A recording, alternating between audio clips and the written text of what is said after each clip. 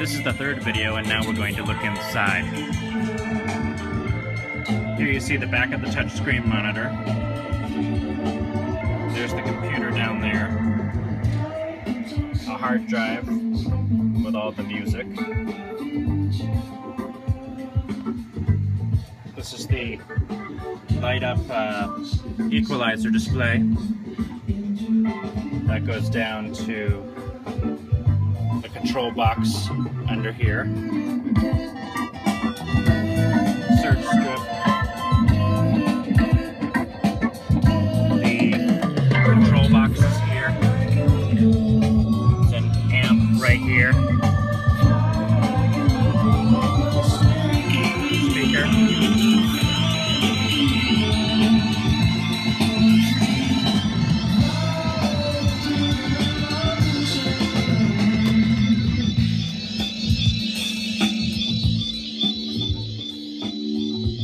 Then the whole thing closes up.